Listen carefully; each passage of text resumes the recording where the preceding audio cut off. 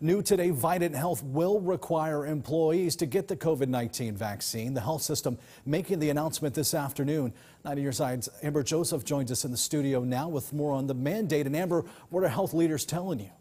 Can Vidant health leaders say they put this mandate in place to protect its patients and employees? Leaders say they've reviewed data and it shows the vaccines are safe and effective in reducing symptoms and hospitalizations. All team members, physicians, providers, and contract providers will be required to get the vaccine as a condition of employment. Employees can apply for medical and religious exemptions, and those employees will be tested weekly. Vidant Health CEO Dr. Michael Waldrum shared shares the main purpose of this decision. Because it keeps our patients safe and our team members safe, um, and our patients expect to be kept safe.